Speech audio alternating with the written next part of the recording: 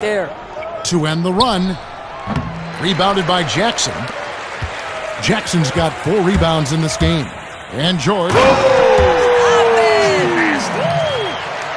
Now, Paul George is an exceptional athlete and demonstrating his insane dunking skills there. Get this guy in the dunk competition. And so it's Beal who brings the ball up for the Washington Wizards.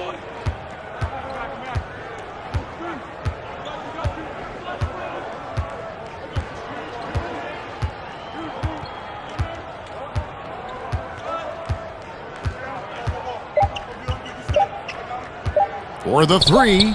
And through the first half, a pretty lopsided affair.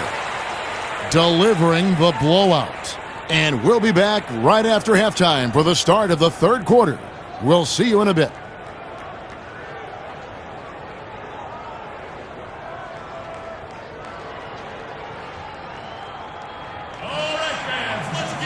Well, we've got a second half of basketball.